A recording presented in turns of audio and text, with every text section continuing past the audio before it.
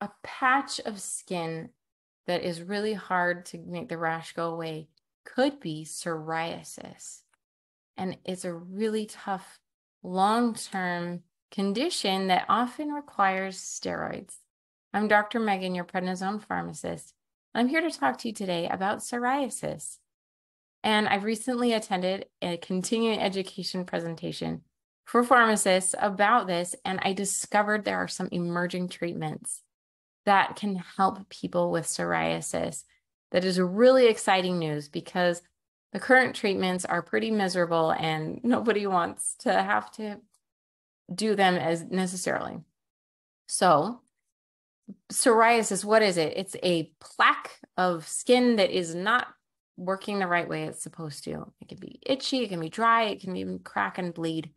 I've spent hundreds of hours reading PDFs of doctors saying I my patient needs this medication and just hearing how they describe what their patients are going through is heartbreaking that the body surface area or the amount of skin involved in the rash can be extreme that it can make it hard to be out in public. And so this is good news to have more treatment options available. So psoriasis um, situation, then you might have to actually take a pill.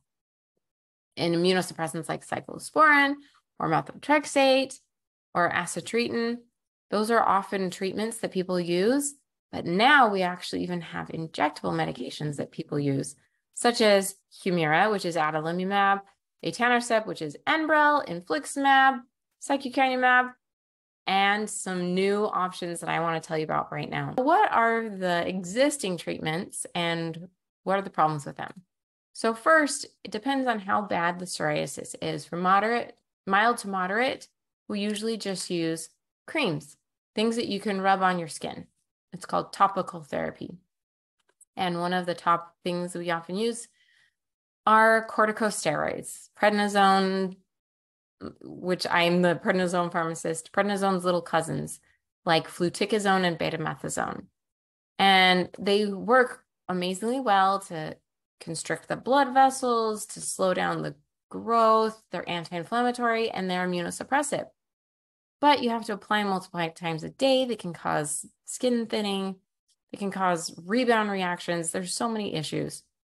So people don't necessarily want to be stuck on them. Then there's vitamin D analogs, um, creams of a medication that looks like vitamin D that you rub on.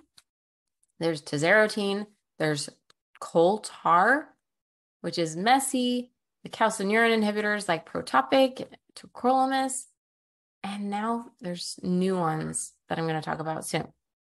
What if you have worse situation, such as a severe things that are designed to help you be steroid free. They're designed for people who are taking prednisone and don't want to have to use, not taking prednisone, using topical steroids and don't want to do it anymore. So VTAMA, V-T-A-M-A, is tapinarof cream, and it's designed to be steroid free.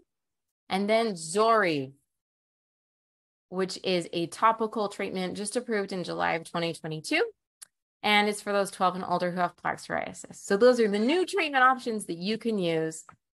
Um, they're non-steroid that you can use if you are stuck on topical steroid and you want to get off. I'm always looking for prednisone alternatives, and here's some for people with psoriasis. If you're struggling with steroids, I have a prednisone checklist that you can download to get all the best tips that I have to help counteract side effects. Signing off is Dr. Megan, your prednisone pharmacist.